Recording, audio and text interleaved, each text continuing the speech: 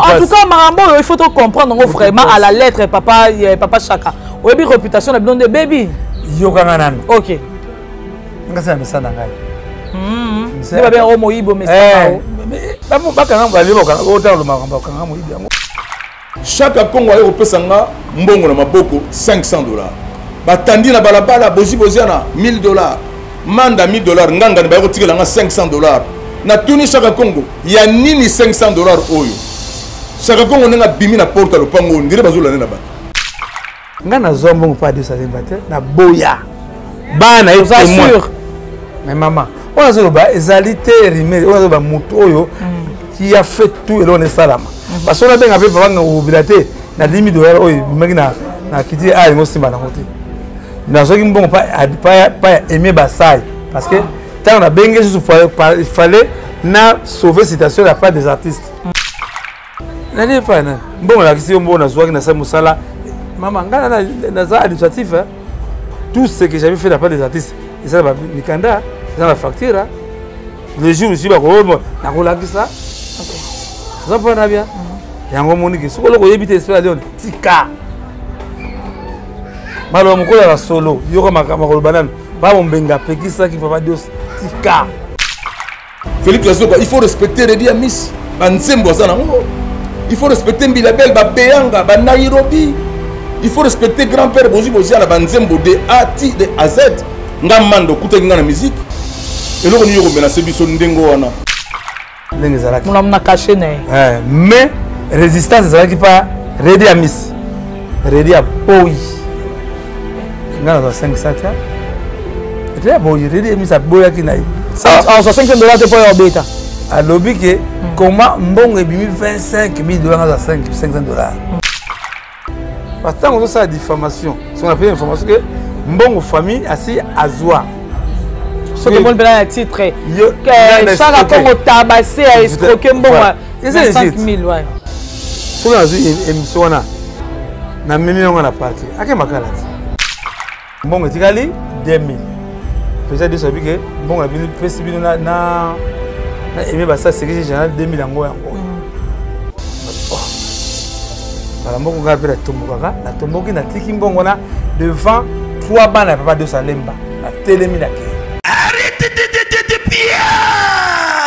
yokelanga eloko oyo Restaurant Business Class VIP Bruxelles. Yeah, yeah! Restaurant Business Class VIP. Yeah, yeah! Oyo ezali na ba cuisine spécialisée na ndenge ya mukie te lokola cuisine spécialisée congolaise pe africaine. Awa soki okoti biloko tu ya mboka okolyango joli kitoko. O makayabu, kwanga, mbinzo, ndakala okolia ngo jolie kitoko awa bilubu tout elambamaka awa bongo biloko ya kotumba lokola soso, ntaba, mbisi awa etumbamaka jolie kitoko na niveau ya kosakana te olie oza mobimba na restaurant business class vip na Bruxelles bazali pe na mobange na salle oyo ba organisaka ba activites te ya ndenge na ndenge lokola ba soirée ba anniversaire mariage conférence mpe baaktivité mosusu ekoki kosalema awa ozotuna ngai soki ezali wapi restaurant business class vip na bruxelles ezwami na adresse oyo 39 boulevard jubilé bruxelles 1080 metro ribuku lune 2 p6 Tram 51 arrêt jubilé awa na restaurant business class vip na bruxelles yango nde nzambe ya babilubu oyo etali bacongolais mpe baafricain se naturel garde bandi na yo toujours placide ebio le patron de business class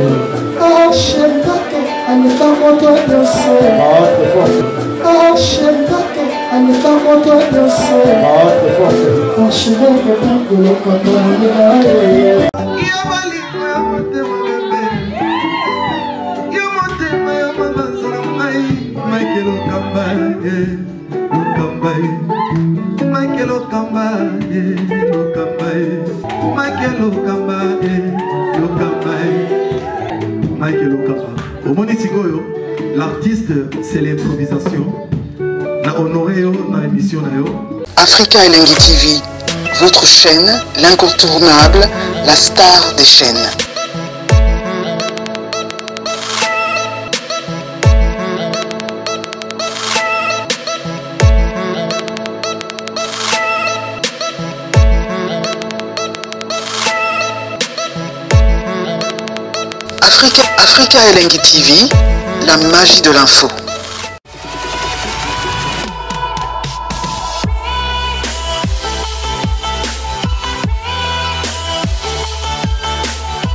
Bienvenue euh, sur Africa Elengi TV. TV. Je suis Espé La mon chéni. Je suis très très heureuse de vous savoir très nombreux train de suivre cette émission qui a comme objectif euh, de vous informer et de vous divertir euh, parfois car nous sommes là pour promouvoir l'excellence. Ah, merci au de Père les Tout-Puissant pour le souffle de vie.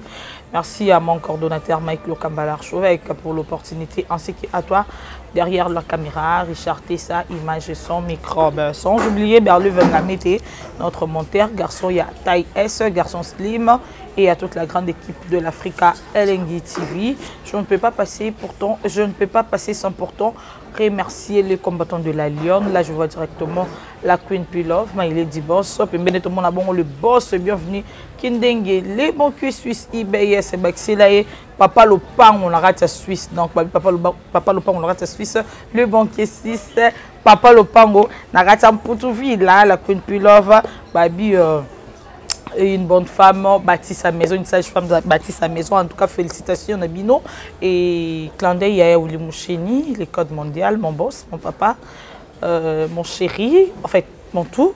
Yaouli j'étais Sali, docteur Laurent Makab bamouela le jeune médecin depuis Soudaf, un mécène très puissant, très silencieux, mais très, très puissant. Je t'aime bien. Aujourd'hui, je suis passée à la plateau Nanga. Je vais recevoir pour vous euh, Chaka Congo, Papa Chaka Congo, euh, artiste en danger. On va essayer de parler de tout, sauf rien, et des, a, des actualités et de rumeurs qui circulent tout autour de Chaka Congo. Mais pourquoi toujours Chaka Congo À chaque fois, ma tangue zalaka, à chaque fois, ma, ma, ma, ma, ma, ma fête, à chaque fois, ma maramio tout zalaka. Et sous kaka, Chaka Congo sala ki boye, Chaka Congo kenda ki boye, lelo Chaka Congo zaye morote, liste bimoulaï. bashaka congo mama biliabel bapapa rediabisi ainsi de suite donc toza na ye akomeka koéclaircir biso sur euh, rumeur oyo nayebi te nabenga yango rumeur na confirme parce que naza bapreuve te biso toyoki bafoi se circule mais ye moko aza le concerné azali awa chaka congo richard tesa fungola plateau tozwa ye chaka bonjour, bonjour. meilleur vœu merci mama mm -hmm. ça va mm, on est là on est écouté na baoba mm -hmm. Ah ouais, est-ce que kitoko oyo penza mpepa kitoko?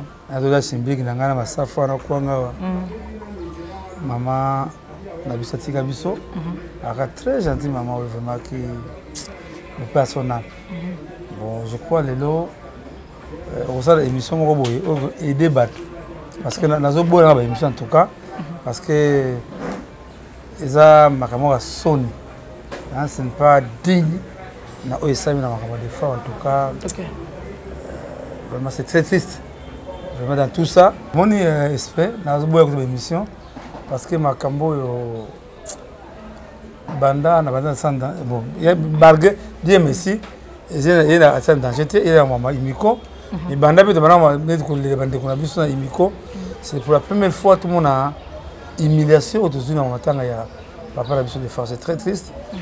nazomona bato bazobeyanga ebele bazokomelanga papa tobaye yo yo po acomplice ah, mais vraiment lelo acomprendre c'est quoi au juste voilà. oyo nyonso bazoki wana ezali barumeur me ngamundo ngamundo asalaki banda defa akufi ti mhm. bakundi nga nayebi jeunesse moi qui a fait le document nayebi nyonso eloko orobosana ezali te d'accord voilà merci beaucoup tokota mpe sikoyo nasombele vraimen suka ya bisanga tomoni bavoice moko esurkile mingimingi na kati eza voi ya oyo ngai na reconnaître eza ya félix wazekua que je salue en passant na kati ya bavoice wana euh, balobi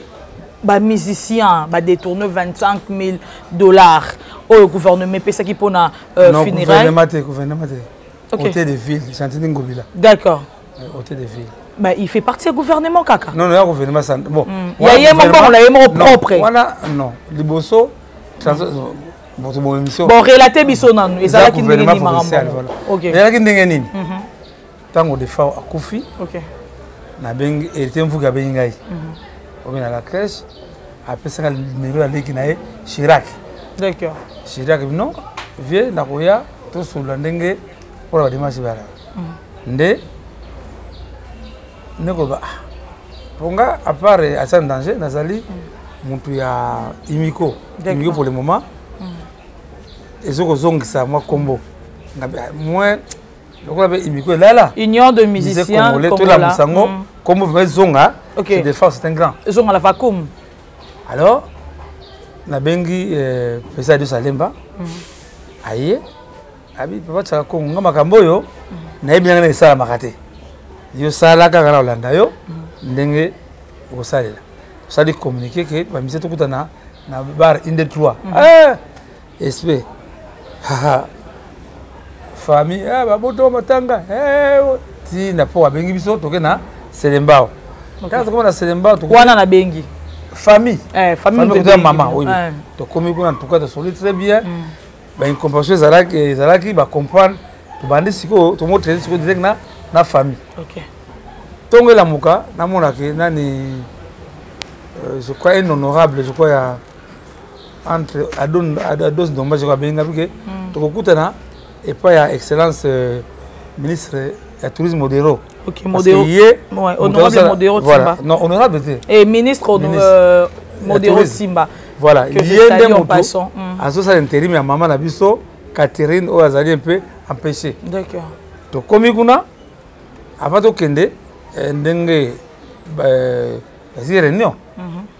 nasali eza draft draft ya imiko mpo tolakisa bango qu'est-ce qu'on doit faire mpona kor na ndeko wana imiko eponaki yo non ngai azali vice président imiko ok kuna akeki kutu mbango kutu euh, natiaki président ya comité d'organisation mpo aba bombenga d'accord mpona nkombo na ye quand même c'est un monsieur oyo nkombo ya poids nde papa diosazem abengi ye après ntanga nakebimisa euh, motuka papa, papa mbombenga abengi eh, papa de salemba mm.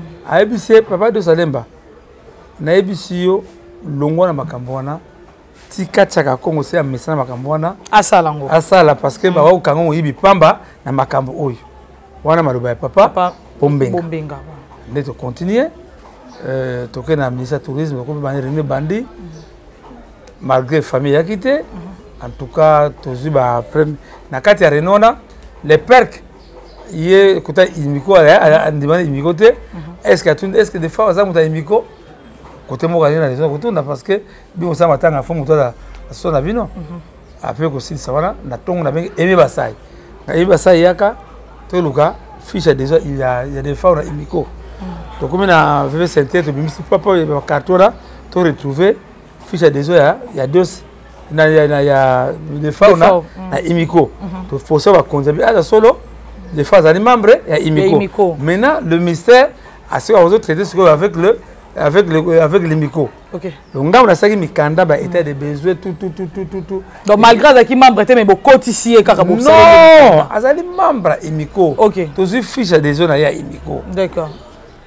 soki olingi me nakotinda bino yango mpo oya nango wa nyonso non nakotinda wana nini na whatsappbakoillustre yango napesa yo maintenant ministre ya telouse babengi ngai tiakongo mm. fait violence kezi yanga famille biologique nakei nazwi famille mm.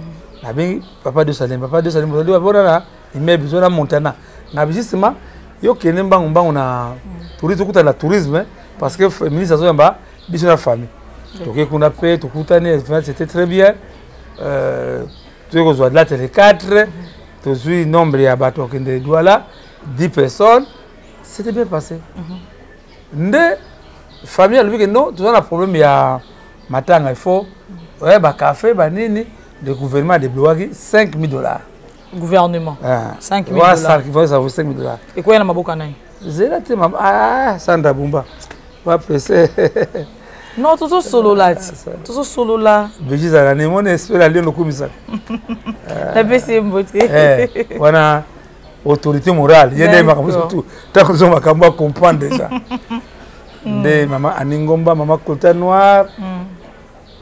Ah, makambo oyo esprit eza soni vraiment ebiki tozali humilie na makambo oyo courage tomeka mpe kosula tokomi euh, euh, je crois que un dimanche mhm. wana papa jésus noel shege azali direkaba ya ministre ya tourisme mhm. baremettre enveloppe ya 5 dollars ke remettre na famille tokomi kuna mhm. c'était bien passé baremettre enveloppe ntango tongo kende ngai nanga zongela famille mhm. baloba pesa mwa essence pesa biso alemba boyi ya biso aka tokende na poko ya alobi ya tokende na biso mhm. tokei na poko yango nde ozwa appel ya directeur cabinet ya biso kiti ar abengi ngai bikisaka kongo lobi réunion ezali na ministère mhm. ngai bidie cap s'il vous plaît caméra ezanga te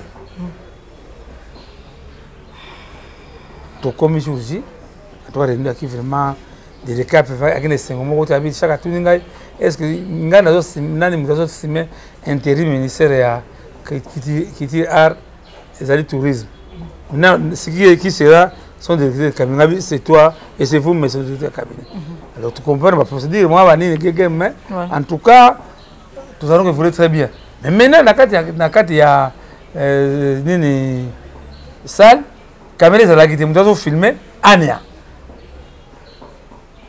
ania azo filme papapapapapa nde tomonaka coup de fil ya maa ministre akiti deja oto remercier mm. abi le gouvernement président ya république atindi baloue jet bakezwa corps ya papa de far c'est personne euh, c'est 35 personnes mm -hmm. nde sikoyo ngai nakesala liste c'est moi qui faisais tout mm -hmm. 10 personnes na fourni ba artiste oyo bakokende douala covid mbongo ezalaki nango te tokesasa covid kozonga na zongi il paraît honorable dede mopasa honorable ados ndembasi bayebisi bakoki ngai motu nalongoli bango na liste ya douala mama ngai nazalaki na ngai te tokontinue tokontinue tokontinue ania aye kopublie image ya ya reno wana asali titre moko oyo titre ya banini ya titre ya nini ya ya ya ya ya whatsapp ya ya ya youtube voilà e mbutu mbutu na misa kiti des arts asepela yango te d'accord nde sikoyo na tongo nango po totali video wana totali euh, ane ezo filme olingo bowana te wana no te hmm. wana tokokoma kuna d'accord didekape abengi biso hmm. abi Anya. Mm. Pourquoi tu as fait ça? Oh papa, tu m'avais expliqué. Babimisi Anya na libanda. Mm. Ngabi babimisi shaka ko ya soba te. Mm. To mina Anya to retire passeport na biso to kena biso. OK, babengani biyo na eh, Anya. Eh to na ngana Anya. Mm. Po bosala yini? kasi ngai babingi ngai moto amemi ania mhm. ngai napesaki badepute nalongoli badepute lobele nyonso soki koyinama na motu na ngai tofandi tofandi tofandi eh, fabake des accords maintenant baremarke ke mbongo fai de miso ezalaki te eza biso nde babelinga saka congo yo moto ovoyage na place na ngai na douala nakoma na aéroport nakei na passeport nakei na passeport mhm. mbala moko euh, napesi conseil palo ko azalaki wana abengi mama enoso afa tiakongo mama sepe ah, die soit loue lokola tiakongo azali wana nde koremarke ata banderole te te eloko te eloko te nde nabengi mama la marraine mandibile ani yango tua napesi ye mbote la marraine napesi yo mbote maman chérie mwasi wana nzambe apambola ye na mama polo eza te bando eza te futa mama tili 650 dollars nazongi mbango makesa polo express na nei banda tokende na ntongo wana tokomi ti ba 17 nzoka ko baosala improvisation autorisation de vol ezalaka ndenge nini yedi ete covid ezalaka dire na yango lokola ezali 48 heures faut ba renouveler autorisation de vol ya euh, congo braza gabon guinée na, na, na cameroun babandisi badémarche wana na remercie colonel tozi ye tokende mpe na cameroun nde ntango tokomi na 17h30 autorisation ekobima hmm. mama ata mai ata nini o oh, babengaka o oh, mwa suka o oh, lipa rien nde sikoyo lipa sukali yo bino boza boza bademarshe ya ndeko na bino lipa sukali okoluka yango mponi mpo napesa ntongo tokendaki hmm. vol yaki prévu likende 8 heures mhm. eloko kolia ezali te nani nde faka apesa biloko mama ota biso comprendre te mm. le gouvernement a fete vie na bato akende zwa corps ya de fao voilà mama non tokomi ba 17 heures 18 heures bato bango benda na bango mm. parce que meme toki eh, eh, bajournaliste tozalaki kuna mm. bango tokendaki na cameroun sans cameraman mm-hmm. tokomi ba 18 heures autorisation ebimi ozo voyage butu kutu kapo sazobanga ah, vola butu oyo vola butu ngabi tokokoma d'accord yo te koyisa biso non bana ntongo nayaki naza deja fatigue vola ya na 7 heures mm. toki oblige tolala kaka na aéroport na bakiti wana mm. non mama esprit mboka mpasi mboka oyo c'est très triste na ntongo toke douala mm. nde bomona ba image ya tokende parce que se balobi tolobi lobi yango trop tozo kinshasa to remarke ke na kinshasa ke ake ezalaki bien te tomi kotya makelele mhm. nde namonaka mokolo moko bopa babengi ngai na réunion ya euh, immeuble intelligence mhm. na salon bleu mhm. ministre ya culture des arts na ministre ya tourisme oyo abengisaki tous les bato abi tiakonga azanga te nde be kobenga ngai mhm. malgre babengana ngai mhm. barécupere ngai voilà nde batuni famille balobi le 23 bakunela kisantu si bien bon na ntongo na yango ifa tokenda igf mhm. kofunda bango ndenge mbongo ya lifa to comprendre yango te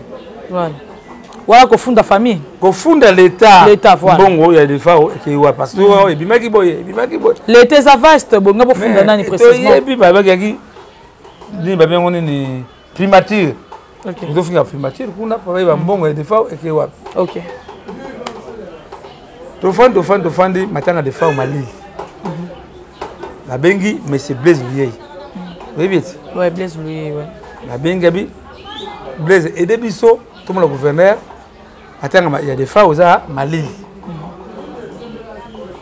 abisalanga délégation minimum 10 personnes famille biologique mpe ezala na kati voilà nabengi papa de salem mm. tokei tobengi mbilabel manda adolphe nde tozalaki kuna mm.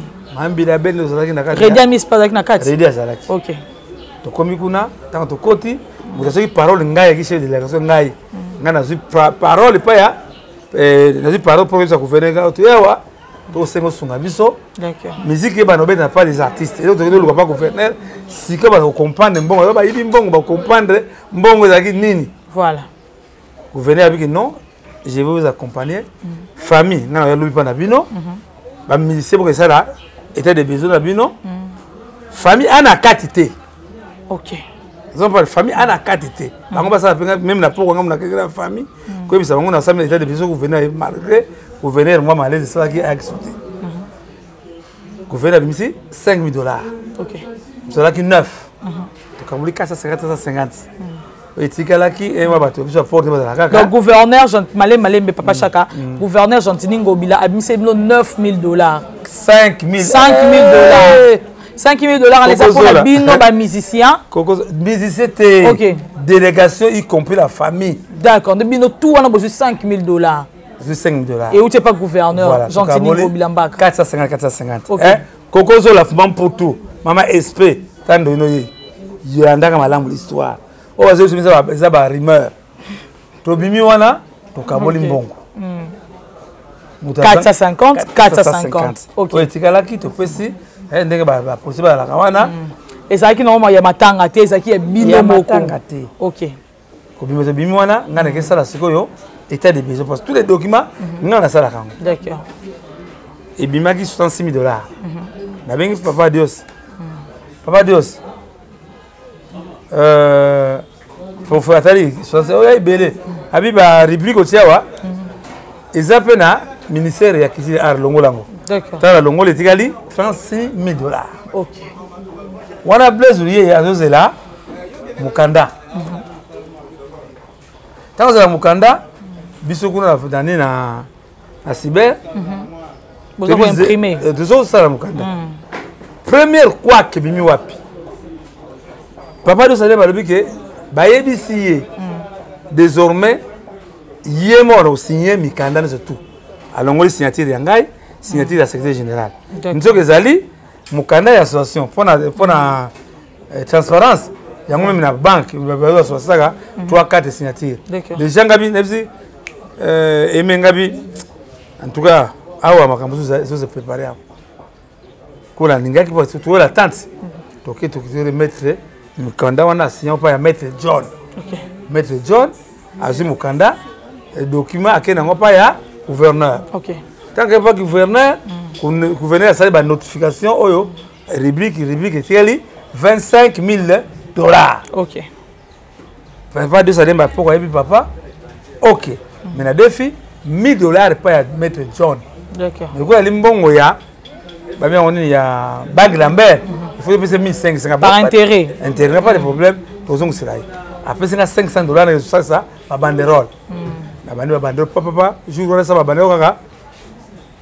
appel ya misie kiti deza mm. esika babengana ngai tia kongo tozozela awa avant mbongo ebima ministre alobi fo yo ozala wana okay. nakuti limete nakuti yango sikoyo ba 19 nakuta ministère tosigne ngai te yo mbala eme basai na adosalemba tobimisi 10 000 dollars okay. tobimi libanda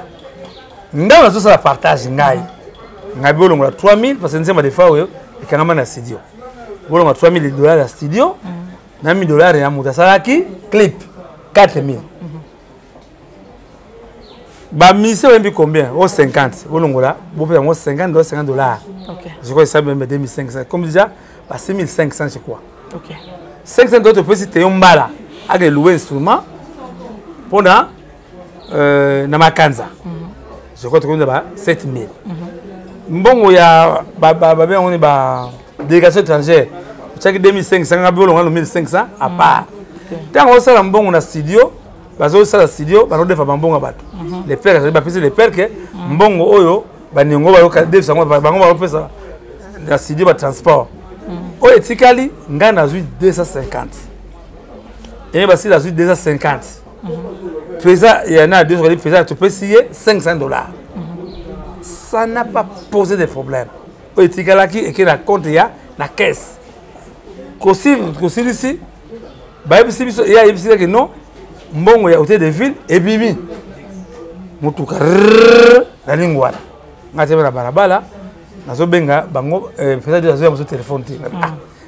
na ntango mosusu eh, baza makambo ngai bamisele baza na nani na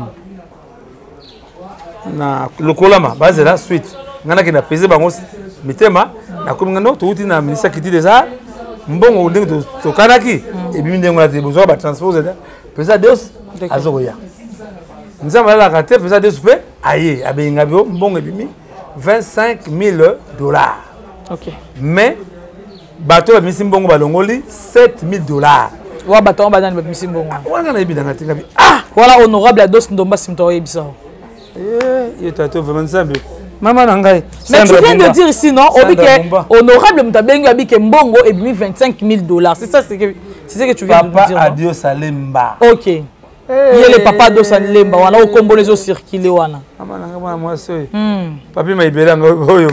Non, en tout cas marambo oyo il faut to comprendre ngo vraiment à la lettre papa eh, papa Chaka. Oyebi réputation na bino de baby. Yoka nga nanu. OK. Nga sala mesa na ngai. Hmm. Nde babe yango moyibi omesaka eh, yango. Bakanga balie bakanga otala lomaka bakanga moyibi yango. Hmm. Maintenant ngabi mpo hmm. bamisi baki sika wana naboyi aza meme eh, mokonzi quand même okay.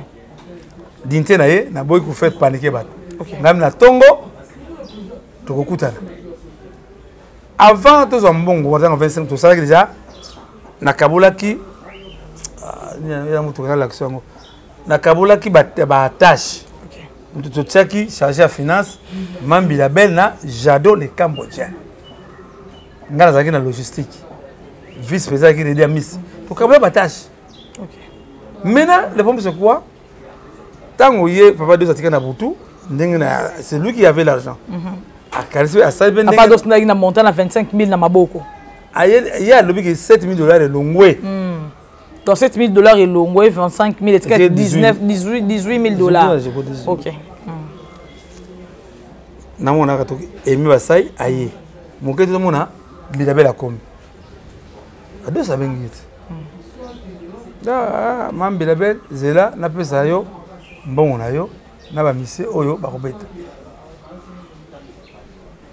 parce que ntango tosalaki euh, prévision bango nyonso bazwa kashe ndenge moko te eh, eyaki bakombo bakombo ndenge ezalaki na kashe na ye eh, mais résistance ezalaki mpa redi ya misi redi ya boyi ngai nazwa 5 satia redi ya boyi redi ya misi aboyaki na ye azwa 5 dollars te mpo ya obeta alobi ke mm. koma mbongo ebimi 25 000 dola naza 500 dollars mm.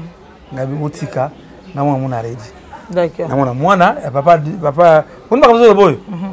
olobi ntango mosusu bakenda na nini na tribunal mm. babimisa image oyo wana azoloba ndenge esalamaki mwana papa de salem aye na saki abimisi mbongo mhm. aye na eh, liboko ya 5 dollars baremetre mama bilabel 3 dollars akabola ndenge toyokanaki voilà na batashe na ye eh, eh. alors maintenant mambila bino ngai aza mosala kosala chaka ede hmm. ngai zulanga mbongo mama mamotiala mwana ya adolphe ya hmm. manda jikola bo mbongo nazwaki mbongo etikali 2000 pesa deso abi ke mbongo pesi bino na eme basa sekisi général 2000 yango yango hmm. oh mbala moko ngai mpe natombokaka natomboki natiki mbongo na devant trois bana ya papa dos alemba natelemi nakei ngai nazwa mbongo oyo te nakei nga mbala moko bozoboya mbongo moninga akufi me bino bozoboyalanda ngano bien mama landa bien tozo mama ntango mosusu comprendre te nazo comprendre o très bien très bien mpenza nao comprendre o très bien ezali ntango mosusu bacomprendre tozo comprendre émission bako oyo oyo ezali travail babe yango droit de propriété intellectuelle nga motu nasali na babe yango nini nasali euh, euh, badémarche wana mm. nga motu na créé eloko wana mayele na ngai mm.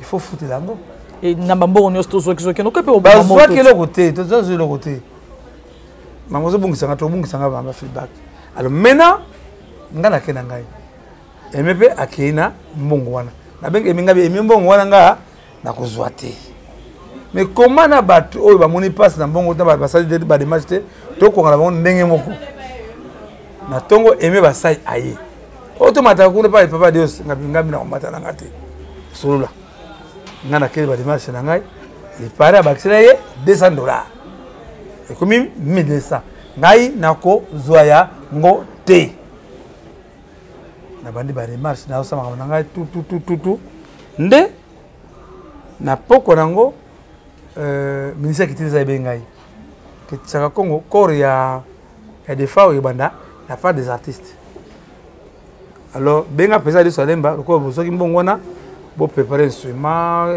eh, plaquette ndenge ezalaka hmm, benga mpenza liso alemba benga mpenza liso alemba ayambi ntango ayambi ngai nana mpona eza te no ngai salongwe naza lokola bayaka nabenga susu boye telefone eta azoyamba nde telefone te azobudi na koyamba telefone mm. ngabi pade ngabi ah oyo ngabi ah, ngabi defois aza moto na ngai oyo soni nabengi conscience ezongi na nsima eh, ezongi ko eme mm. oza wapi nayelanga mbongo wana nazwi mbongo wana mm. nakisasa plaquete nazwi podium ntango nazwi podium nazwi lisusu eh, boye ezalaki podium ntango nazwi podium na ntongo na yango tie plaquette instrument ezalaki te nake loue eh, groupe électrogène okay. makambo nazoloba wana le conseil financier ya misa kitili eza tozalaki nde wana ayebi yango abisaka débat toi to réussir événement d'accord nabengi bapolicier tala boede biso zombo nde ezalaka kaka mo mhm. encadrement nini eh, nini eh, groupe leptogène mm. ezangi non non babe yango nini euh, sonongo ezangi groupe leptogène mm. toke loue parce que corps 9 heures efekoma ya pas des artistes toki lobe coupe de l'église mbango mbango tosomba essence en tout cas na place des artistes tomoni parce que c'est là place na biso tomoni mpenza indiko azalaki na wana te ngai moko mfuna asalaki ba programme tomonaki ba image wana eh, ministre nani papa kadima aye mhm. eh, baministre bayaki eh, mama biso ya kaba ya minisaki te eza l'événement eleki très bien oh na saute marche na ntongo na yango e na pokwa na yango réunion bayebisi biso kokende natuni bato ya ministre mike badekore esika makambo ekobima bakodekore defa te mbongo ezali te il faut bafuta 6850 dollars ngabi ah ngabi non po badécorer po asalaki asali lokumu mboka pendant bato molai bakodécorer yaka defa o mokolo apesa sumbongo le 30 juin oui yaka cérémonie mhm. parce que voilà chancellerie c'est la présidence d'accord balobi na ngai que voilà euh, defa o bakodécorer te ngabi te il faut tosauve citation tozalaki na réunion tous les ministre oyo bazalaki na immeuble palata wana tozalaki wana nabengi ministre modero na tie main libre mm. wana aza na espagne na excellence sauve citation des fois on ne sera pas décoré ah je vais faire tout nakobenga bakonzi eh, ndenge bango badécoré ye ngai badis atelama tokende tobandi sikoyo kolukaluka baporte toluka 6 50 po badécoré de fao okay.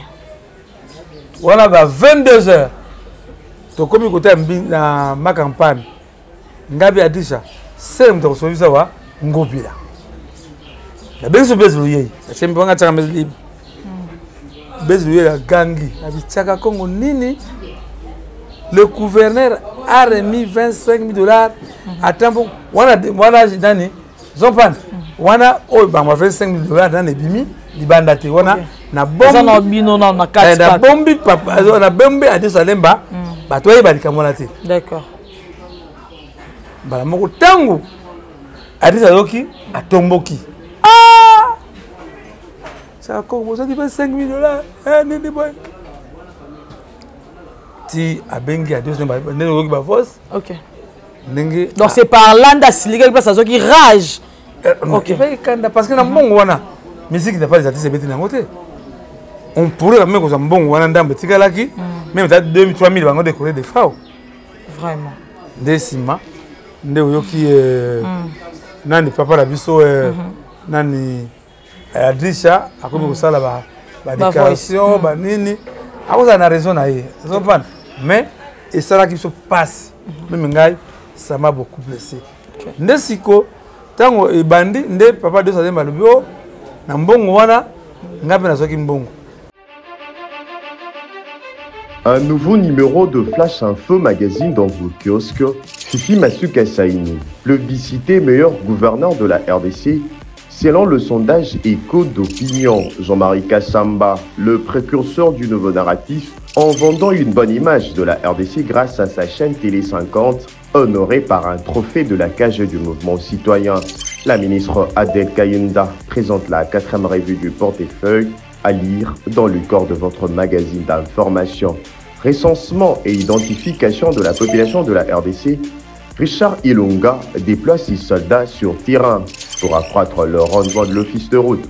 L'opération de mise en retraite est une nécessité, une information à croquer sans modération, à inscrire dans le chapitre d'innovation Perfect Télévision, une télévision de haute définition qui gagne le cœur de Congolais à lire également dans le corps de votre magazine, édito de Jean-Marie Bassa, ses chouchous de la presse congolaise, parle de la désinformation comme un danger pour la nation. Dans le corps, l'éditeur principal écrit Ceux qui fabriquent tant l'ombre de fausses informations visent à faire dérailler le processus démocratique qui pourtant évolue sans herte dans un pays dont l'histoire est marquée par de soubresauts politiques aux conséquences que l'on connaît parfaitement. Le commandant Michel dit injustement vilipendé, le chaise du Salon d'honneur en voie d'être renouvelé totalement à l'aéroport international d'Onjili. Tous, derrière nos effardissés. la campagne Bendele Koyate, lancée par le ministre de la Communication et Médias, porte-parole du gouvernement Patrick Mouyaya Katembwe, apporte ses fruits. Le nouveau directeur provincial intérimaire à la direction générale des douaniers et assises des GDA de la province du Okatanga katanga s'imprègne de la situation générale. 24 pages d'informations générales, 24 pages de connaissances et promotions, 24 pages qui fait de vous roi d'infos pour ne rien rater de l'actualité en temps réel. Restez connectés sur le www.flashinfo.com. bana na ye temoin mais mama oyo nazoloba ezali te rime oyo nazoloba motu oyo mm. qui a fait tout eloko na esalama mhm. parce que oyo nabenga mpe papa ngobila te na limi doyar oyo ebimaki na kiti a yango osimba nango te nazoki mbongo pa ya aime basai parce que ntango nabengi lisusu fallait na sauver citation de la part des artistes mm -hmm. nde omoni nde tokomi na niveau oyo eh, nini ti ba koswana swana tuka na evitaki meme ba émission mhm. nazo éviter kosala yango parce que mhm. esali yo soni c'est la honte mhm. mama ya soni chaque congo j'ai une question te pose oyo bato nyonso basepozaka mais pourquoi chaque congo asalaka nde mosala na ye bien alandelaka baartiste eto abundaka mpela mpona baartiste mais pourquoi comme bashaka kongo ekendaka ka mabe pourquoi, ba, pourquoi shaka kongo toujours balati yako casquette ya moyibi ezalaka po ani awa ah ya moyibi te hmm. omoni nayebisi yo ma hmm. centrale mhm. ma ministre alobi ke shaka kongo doit être là okay. yo olobaka wana la rue oyebi tosalaka officiel tout ce que je fais ezali contrôle ezali justifie lokoto wana eh, esprit ya lion kobangelaka nga te mhm. sylvie kabeya po sylvie kabeya azolelela mingi sylvie kabeya bato ebele tyaka koko alesosikwa bato bacomprendre mhm. ndenge mbongo ngo ebimelaki mhm. soki ngai nasalaka makasi te ezali relation na ngai moko courage na ngai moko moto ebimisi mbongo wana mais mesadi osalemba eloko ebomi ye ayebi ndenge esalamaka te kote moko na kokotela ye c'est où mm. mais comment yoyembele moninga na osenge mbongo sikoyo c'était prévu 50 dollars mm-hmm. mesadi oso azopesa bamosusu ya 200 mosusu ba 300 ndambo namonaki mm-hmm. ozompana bien parce que bazalaka nyonso mabe babe non mm-hmm. nalobaka a a i i soki papa de salemba alandaka ngai kaka nde nasalaka mabe elingi obima moko te mais maintenant moi donc moi esprit ya triomphalisme ekotaki ke non maintenant sikoyo nani azoko mbongo yango bato ebele bale mbongo wana mais soki moto azosofrire oyo bazoincrimine sadi salemba je crois que le moment est venu bameka bongisa likambo oyo etali sikoyo yo moko na ntango mwa mambo wana nyonso toyebi ke bato ebele balie mbongo ke tozi bato ebele balie mbongo wana landa mm. bien mm. l'argent était destiné aux orchestres qui vont jouer à la place des artistes est-ce que babetaki non tokozela euh, nini euh, instrument na forum ekomaki te oza fana donc kote mwana je ne peux pas connaître les musiciens bayebaki mpe tokobetela pale bazalaki d'accord mbongo bainstrument na babiloko wana nyonso tutu nani azalaki charge nango non non non biso papa gentini ngobila nous a assuré ke hmm. akobenga directeur ya ya marketing sur général ya probablement okay. il va mettre ah. les instruments à la place le mbongo oyo bazwaki ezali mbongo ya euh, ya prestation mm -hmm. eh, prestation kutu te transport ozomboya c'était ça sikoyo yo ozalaki na mwa baassociation loyebi mwa makambo ebele papa chaka est ce que bamise bango moko nono bacontribuaki mpe mama mbilabelamaki mama mbilabela apeki likanisi wana mais personne personne na contribue oh, félix azekwa abike ye atiaki contribution contribuaki non félix azekwa bosangisaka biso na makambo oyo te ye aza mm. mayele amona yango mosika ozompaka mhm. bien mhm. parce que moni lelo ntango tozo reforme imiko mhm. tona bezo bato kolaka félix wazeki bato mitu esalaka tolingi te ke biloko ya boye meme na manani na mayele na yo esprit mbongo ya botanga ebimi nani aza na, na pouvoir c'est le président de l'organisation okay. qui était mesadius salemba mm -hmm. meme so meme bazalaki bato ya bendeki bango mpo amesaki solemba te apesaki bango moni ngai nayebi komaîtrise bato wana soki vraiment mbongo wana efale ezala mpa mama mbila belle moto azwi mbongo asigne mais na charlie le cambodgien ce n'était pas comme ça sikoyo dans tout ça papa shaka oko oloba nini nani oyo acree trouble oyo nyonso toti ti lelo bino nyonso bozala mal repute hmm. trouble euti pa monsieur adios alemba ok tant que tu es président uh mhm. -huh. il faut savoir assumer tes responsabilités oza mpa na ngai mhm. soki osala na banke mhm. bakesa bi banke bayebi mbongo bana directeur ya banke kati donc mbongo ezalaki fa celui qui sortait l'argent mais nzoka soki bakangamaki na ngai na embasai biloko nosalama te parce que biso yebi comment ça se passe pour votre euh, euh, information imigos parfait matanga basali yango te batabulei bakeser balutumba avec mes papa kiamwangana eloko esalamaka te tout ezalaka prévu nana yoka te matanga imigos asalisi ki o misi azwi mbongo te azwi transport te tout ezalaka planifie ezali meme ye mo papa diosani maloba ke na nasala yango te nzoki efali akangama na biso mhm. meme so moto alinga asakana ye to amvuka ye mhm. to azwa mbongo na makasi abengi biso yango aloba ya bato wana mais il a fait ça seul mhm. ye mo azwi engagement na ye asali makambo ne ndenge amoneli biso bato tobandaki na ye aelimine biso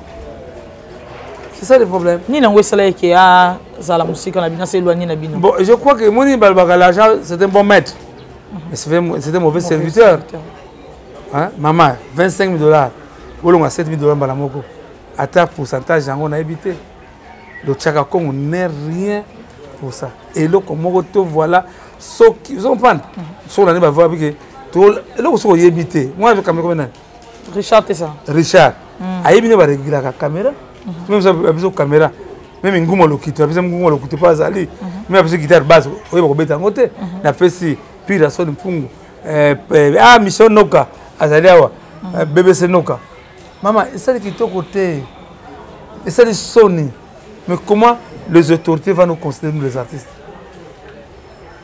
toujours na matanga kaka nde ba, ba, ba, le voix s'élève yango omoni ke ezosenga ke barestrictere illico mhm. eza lingua monene mpona eh, union de musique congolais ezala association ebundelaka mpona baartiste ezala association mpona ekundaka baartiste mhm. eli tolaka kasi oyebi yango kasi kasongo mhm, kasi kasongo oyo oh, ya muyaka eh, sebidimbo en tout cas kasi bakende mpe kuna ti bakende mpe kuna ti bakende mpe kuna babimisa mbongo bakende totala bango mama espera leon mm.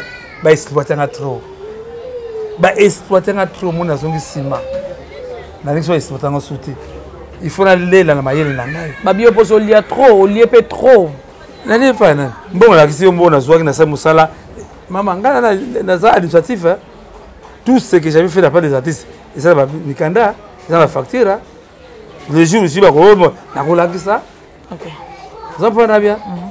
yango omoniki soki oloko oyebi te esprit ya lion tika maloba mokolo ya basolo yoka makambo akoloba nano papa mombenga apekisaki papa dios tika c'est ça Voilà, clin d'œil spécial à Jetumeta. Euh, J'aime Fashion, mon habillère.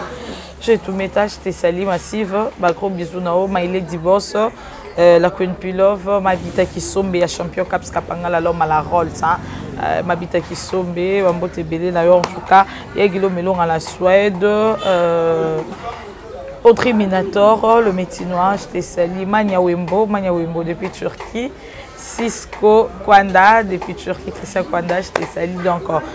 Simba le combattant de la lion na kati ya turquie wana papa shaka tomoni video mwa boye ezotambola ya na chaîne ya ndeko na biso ania star e on dirait bande kozwa image oremarke epuis olekisi liboko c'était quoi au juste bon vraiment que même euh, tonto bokelo mm -hmm. oazo prépare anniversaire na ye na 50 ans ya papa johnny bokelo esali bango mpasi moni ania lelo ngaki nasumisi ya kiti eza soutien mpo na ye ania star ania star mm. ana mwana wana azali très dangereuse asa ah, wana na confirme yango qu'est ce qui s'est passé ntango ozalaki na misa kiti eza la famille ya, ya, ya defao azoluka ania bahumilie ministère ya culture des arts na ngai oh. qu'est ce qui s'est passé mm. jour tozalaki na na réunion na ministère mm. nasengaki euh, caution tokende kosala ngai nasalaka makambo nayebi mm. parce que souvent bamorgue ekomi kozala kotonda mm. na toboyi ke corps de fois jour ekoya mm-hmm. tolukaka o oh, tokenda lema ah, toke bopesa ezali te totekor etelengana ete ngai bopesa mbongo nakende ko euh, babengo nini kogarde déjà place avant koreserve place ouais. bapesi nga 100 dollar wana famille ya defamille 20 dollar bapesaki ngai mpona carburant hmm. nakei makambo nazoloba moto azali charge ya morgue eyali beau frère na biso euh, armel bonsen ye abala mwana mpongo love nabengi ye abi papa morgue mikolo oyo ezali plein on va chercher to sauver citation tokendaki na morgue ndenge basalaka asalaki réservation na makambo nde alongaki na comité d'organisation contact ya esu te alors ntango kore ye parce que badate echangeaki alors ntango kore ye l'état ndenge bango mpe basalaki mpe ndenge na bango bakei mpe kofuta mbongo mm. na ezango deje oumilaki nango te mm-hmm, mm-hmm. je crois alors ntango atuni ngai non okola nini eza ferie a mm. ça ne pose problème ngai nazwa mbongo na retire mbongo na mm. nakozongisela bino nzoka ane ya très dangereuse bit naye kosambwisaka bato akeyokana na famille wana ntango ngai nazo ko nakendaki zekoka ko papa bakea bangana matete ntango azoleka mm. noko oyo wana mm. azalaki na kanda ya 25 000 dollars bana moko aprofite pezanga bongo nanga ah, papa mm. mbongo combien mm-hmm. wana tozalaki na rose rajabu moninga na yo na mbongo ya combien o oh, papa eh. nake kaka mpe makambo wana nzoka ania star azo filme na kobombama mm. ngabi ania osala nini wana nzoka ania ete azalaki mwana nga na adopta ania mwana très dangereux mwana ania soki meko publie image wana nakolakisa ye peut-être amo atatalaki amoni kaka ke euh, elota mosusu ezalaki elomwa ya soni bato bamona yango koma bowela mbongo mbongo te bazosenga 80 dollar mm. ya bango oyo tokendeki kosala réservation ya mm. morgue après nango nabengi bango bapesaka numero mpesa natindi kaka après kaka wana kaka nazwi na transfert yango 80 dollars wana esesila mais ania mwana wana mama ania mwana moke azalaka boye te faut de respect parce que moni bango mosusu na basamba te parce que ntango ozosala diffamation soki na pesa information ke mbongo famille asi azwa soki omoni mpena na titre saka eh, mpongo tabase ya escroke mbongo ya 5000 wayo soki nazwi émission wana namemi yango na parke ake makala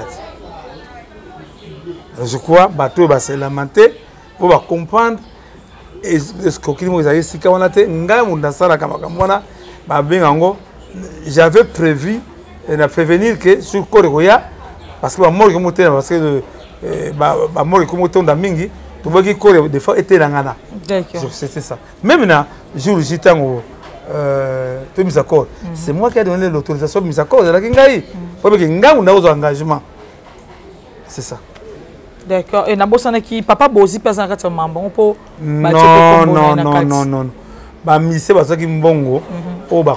oyo retenaki mpo na place des artistes d'accord baboyaki kobeta te bakozela instrument na podium mhm. c'est ça donc papa bozi na rien avoir motu ata ndenge akoki mbeleki na mana osala soki nini babengo nini feu de fesse amanda boniko mpo na sango feu de fesse ya nini moto ale mbongo ya moto awa aza te baartiste bazwaki mbongo wana ezalaki wana bapreste bapreste par des artistes moi baba tozalemba il fallait akangama na biso zopala biso yebi ndenge esalamaka tongo toyeba kocouvrir ye komaka esalamaka me ye moko amiwelisi abimi gange abimi ke toresir mais non je crois esali honte à la prochaine fois est ce que les autorités vont encore nous recevoir na makambo ya boye tosala makasi tobombaka mwa ba 1000 francs 1000 francs parce que boye en tout cas c'est très triste voilà c'est très très triste bino boyoki papa chaka congo ndenge apesi euh,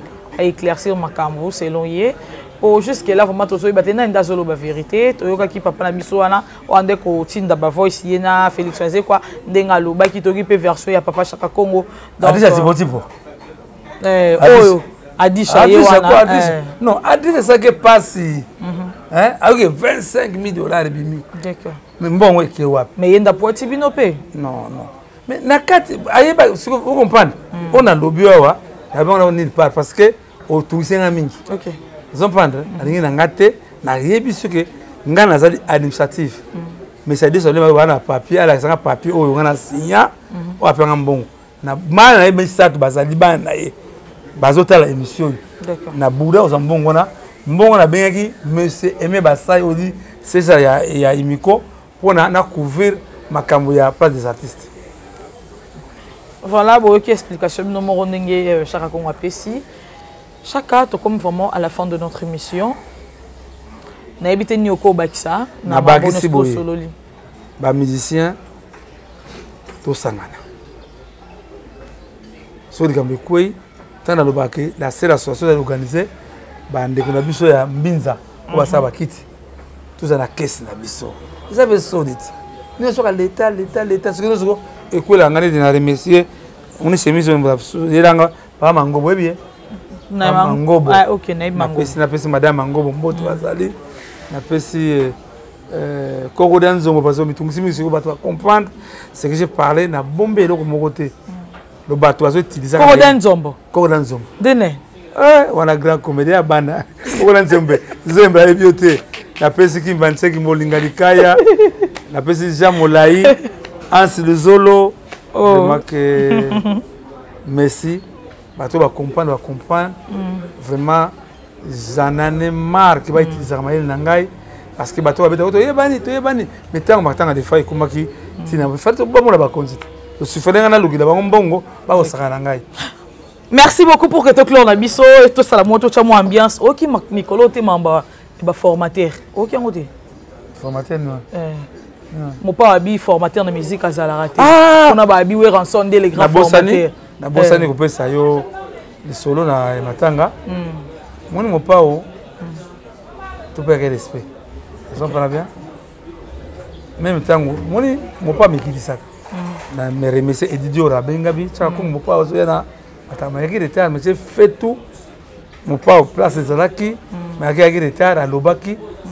ape yango alobaki ngai jour elandi naye lokola ndako ayambi ngai tosolaki très bien mm, bobongisi non non non il faut ngai nazali mwana mosala nazali boyi nakozala jamais komela artiste alobi eloko wana ezango bafutilité ezanga ntina zo comprendre mm. were abimisa bana euh, babala biso pourquoi ope abimisa bana mm. longwa ya badeba moko ezanga ntina mama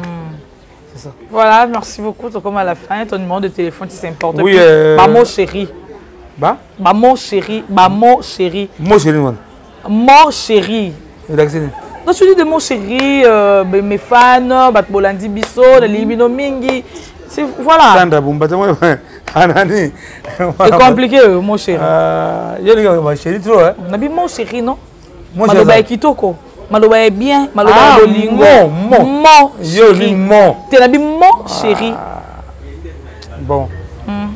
basoutenir likasa sans danger d'accord c'est pas facile hmm. omema mokumba bato omema mpasi ya bato le dieu agit à travers moi napesi apôtre vaya katise apôtre vaya katise mabondeli makasi parce que ozali etumba yo yetu parce que meme bakambo akoma ngai naresamaka mwa parce que derrière moi dieu est là napesi mama micheni shabani mm. ye atyaka mpe mingi na mabondeli mpo tosukisa to na kaa ya papa kabachi mm-hmm. grand mise chrétien oyo esongi soutien mm. eh, papa kabachi c'est le moment aobela oui oui oui yandi mosi